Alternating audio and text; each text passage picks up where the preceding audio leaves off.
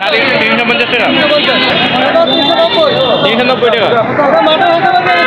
কত? ছয়শো টাকা হলে পাওয়া যাবে না? এটার প্রাইস একশো আশি। একশো আশি টাকা। আর এটা কি? মেজবানি কত টাকা? এগারোশো টাকা কিলো এগারোশো টাকা কেজি। আর এটা পিস হিসাব না কেজি হিসাব? চিকেন পিস হিসাব? একশো ত্রিশ টাকা। আর এটা কি? এটা পিস কত করে?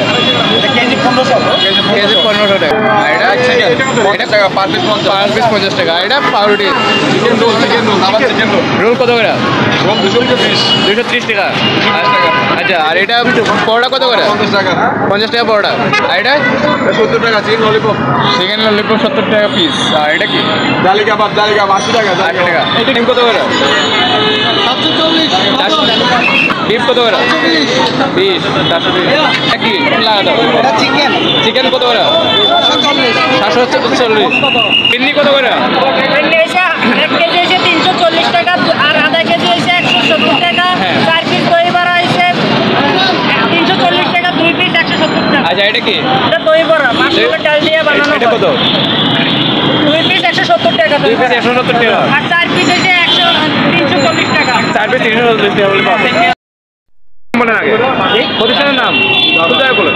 দি ধাবা চট্টগ্রাম ব্রাঞ্চ আমার এখানে হবে যে হালিম হবে দদ্দাবাদ হবে তারপরে ল্যাম্ব রোস্ট তারপরে চিকেন রোস্ট তারপরে আপনার mutton Hyderabadi chicken Hyderabadi chicken tikka chicken টাঙ্গি দুধ মেহরবানি তারপর আপনার চিকেন রোল আমাদের ঐতিহ্যবাহী চিকেন রোল তারপরে দইবাড়া হবে।